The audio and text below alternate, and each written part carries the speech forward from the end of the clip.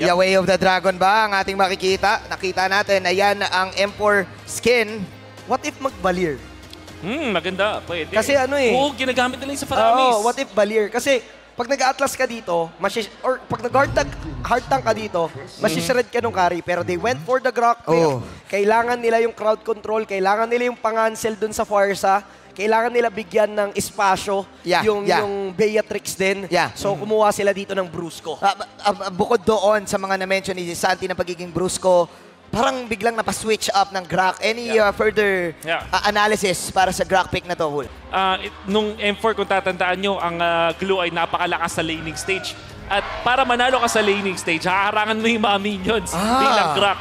So, pwede natin expect na si Mr. Yawi ay kukuha ng Guardian's Barrier as his first skill. So, ibig mong sabihin, may delaying tactics. O, delay. Para manalo sa lane. Para manalo sa lane. It's all about the eh, lane. Echo. I, mag-echo express agad sa laning stage pa lang. Mukhang naka-ready naman. Ay, ayun na nga oh. Ang blacklist dito, ayun na. Nag-delay nga, nag-delay nga si ano, Let- si Yawi. Let's check the Grak out. Pero mukhang hindi pa natin makikita. May onting yan. There you go. May delay na ginagawa si Yawi. Pero sabi ng blacklist, kirahin natin kagad yung baba. Edward and Yue. Grabe yung cut na ginawa nila dito. Super cut. Grabe rin yung ginagawa ni Yawi, super delay din. Kung may super cut ang Blacklist International, may super delay ang gin- na ginagawa ang Echo. Fini-freeze niya lang doon sa Yeah. base ni Yawi. Isipin mo, ang tagal niya nang nakatambay dyan. Oo, umu- umuwi pa yan ha, para lang magpamana. Uy. So, Iba ano, ka, kin- Yawi. kinakat niya pa rin? Super Oo. cut. Ayun, oh. Uy, grabe, kinakat niya pa rin. Uuwi. Uwi ulit. Uuwi pa yan para may, ma- ah, may mana. Pero magiging agresibo this time ang Blacklist International. May hila sila mula kay The Queen. Plus may pokes coming out from Yue. So malamang alam to ng Blacklist. Grabe yung Super time. delay. Super delay, boss. Yung mga ganitong ano, ganitong mga pandidelay, talagang alam mong ilang beses pinractice eh. Oo, oo. Kasi may timers na yung minions paglalabas ng ganyan eh. Dapat alam mo talagang sakto Yeah. yung bitaw. And ang ginagawa ni Yawi dito, tinutulungan niya yung all three lanes na na makontrol yung lane nila na kumbaga kailangan umextend ng konti ng blacklist para lang makukuha yung resources na kailangan nila.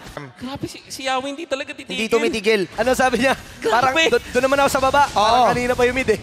Okay, may laban tayo magaganap. Finally, Blacklist. They will get the first blood mula kay King Wise. kuha ng kill onto Sanford. And mukhang magkakaroon nga talaga ng lead ang Blacklist. Edward naman dito, mapapasplit-split. Gusto niyang palayuin si Carl Tizzy, pero tila ba mapapalayo yung Turtle dahil ito ay marireset. Pero Feather Dare Strike ay tatama. Nabanggarit siya bigla. And Carl Tizzy is down. Pero habol man si Sanford dito. Kaso nga lang may altar si The Queen para isave ang kanyang mga teammates. Edward naman, crucial point and split.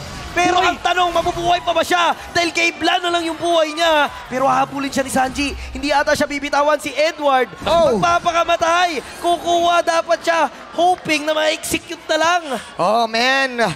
Kamuntikan pang mabuhay si Agent Zero doon sa situation na yon. Pero ang nangyari na nakikita natin, tumatapat ang Blacklist International sa pagiging agresibo ng Echo. Sila naman ngayon ang sumasapak. Doon sa pagde-delay na nakita natin mula kay Yawi, eventually nakakuha pa rin siya ng kanyang level 4. Pero ang naging problema, mas nagkaroon ng control dito sa Turtle. Wise almost level 6, so kailangan na kunin ito ng Echo. Grabe yung ginagawang control ng Echo ngayon. Pero leading ang Blacklist, so kailangan mag-ingat ng mga Orca. Kasi anytime, pwedeng pumasok dito si Wise at Trumetrin lang bigla. Pero makukuha naman ni Carl Tizzy yung pagong. Hahabol nga lang yung Blacklist International. Pero Yawi itong goal palabas. Hatak naman dito mula kay Oh. Edward. Carl ang magiging target nila at King Wise secures the kill. Sanford naman dito papalag pa. Mahuhuli niya naman dito si Yue. Oh. At aabutan nga talaga mula doon sa kamay ni Sanford. Para bang nanggigigil, sinayawi dito kay na King Wise. Volado, Wise, magiging gulong. One hit na lang para kay Wise. Nirikulan pa nga. Wise is down. Sanford is down. 4-4 ang nangyayari. Pero tama, pa- tama si Santi dito. Paunahan at paubusan ng skills. Okay. Ginagawa lang nila dito ay naghahanap lang talaga ng butas. Feathered air strike out of range ng members ng Echo. May conceal play naman na gagawin. Anytime Oh! At andun Oh! nga yung follow-up ni Benny Cutie. Oh, may Venus naman. Makakasurvive. Mabibitawan niya pa yung altar. Kaso nga lang yung turtle pag-aagawan Wow! nila. Kaso nga Wow! naman makukuha to ni Carl Tizzy. Nakatutok naman si Benny Cutie pero hindi ito tatama. Echo secures the turtle. Ang ganda ng nasabi ni Wolf kanina about delaying. Aroy! Uy! Oh, Ginawa niya rin yun nung M4. Dito, same spot yun eh. okay. Di pa ata sila tapos. Napilitan mag-conceal si Oh My Venus.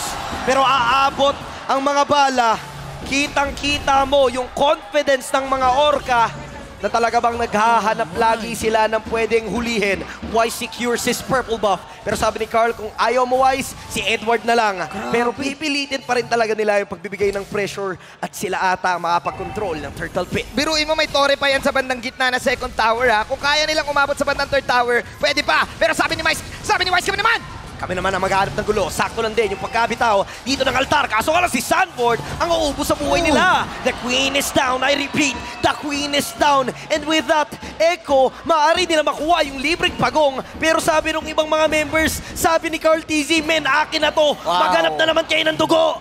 chumilax na lang. Si Carlito dito sa bagong. Pinahinga niya muna yung kanyang Sanji! injury. Naku Sanji with a pick off also. Let 23 him cook! Let him cook. Echo now leads 5.3k. Kakaiba ang pinapakita aggression ngayon ng Echo. Wise, gugulong. Ooh! Okay, may setup na gagawin ng Blacklist International dito at finally Kane Rice. Penny! Pero may bawi si Sanford. Akala, na, akala natin ayun na. Ito na ata sana yung opening ng blacklist pero nakaganti pa yung mga orca. At si Carl TZ hindi pa siya tapos. There goes the taunt. May follow-up damage and wise. Mukhang mabubutas ang gulong dahil nakaabot na naman sobrang kate ng mga balang daladala ng bagyo na tila ba hindi makahanap ng anggulo yung Blacklist International. At actually, ginawa nila in the past two games. Yung Echo, may kakaiba silang na way para sagutin yun. And we mentioned na kailangan sagutin yun ng mga teams if they want to be Blacklist International. Echo, ang ginawa nila, super duper delay mula kay Yawi. Yeah. Kumbaga, ki- sinarado niya muna, hindi muna opening. Yeah. Na Yung Yawi would have. Yawi Spudab. Finals muna, finals, Finals muna. muna. Can Blacklist International come back from this deficit? They're trying their best to get one. clear. But Sanji, Nilatag yung real world Oh! manipulation pero andun na nga yung record ng goal ni Yawi. Kaso nga lang hindi siya umuntog. Sobran. Immortality pop pero may altar naman si The Queen para nga i-punish yung overextension na ginawa ng Echo pero mabasag Oh! sila ng mga torre. Dalawang inhibitor turrets ang na-push ng Echo at hahabol naman na Sanford dito. Oh! The Bravest Fighter! Hahabulin niya si Owl Oh! at abot yung huling gamba para nga makuha siya. Kaso nga lang buhay niya rin ang naging kapalit. May hatak naman dito with a grab-grab. Benny Cutie naman with a spray gun. Aabutan nga ba nila? Grabe si Sanji! Pero si Edward naman tigilan! dito. Si Sanji backline pa rin ang hinahabol. At sobrang lagkit. Hindi makagalaw ng maayos si Edward sa ginagawa ng kabila. Oh! Eh kukuha pa sila ng kill.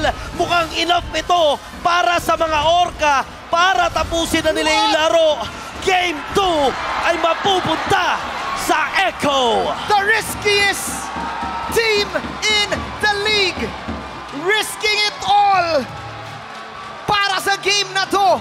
Yung last two moments na kung saan nag-sacrifice si Yawi at si Sanji. Surprising Blacklist International. Echo with the victory. Dalawang minuto ang ginugol ni Mr. Yawi para pigilan yung mga lanes.